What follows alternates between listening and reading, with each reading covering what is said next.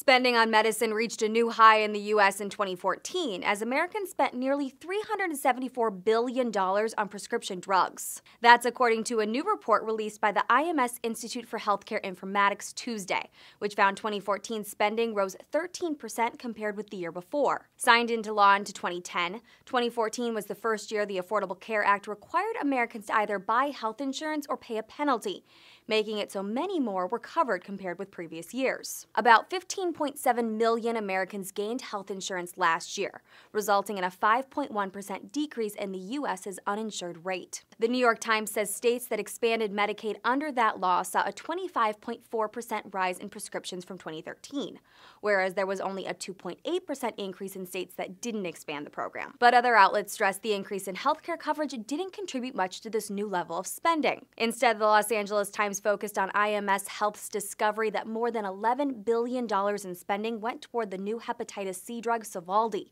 which costs more than $80,000 for a 12 week treatment. Time reports the number of patients seeking treatment for hepatitis C in 2014 jumped to 161,000 from just 17,000 in 2013. Quoted by the Los Angeles Times, the director of research development for IMS Health said he and his colleagues believe 2014 was a bit of a one off and don't expect people will spend as much on medicine in the coming years. For Newsy, I'm Katherine Biek.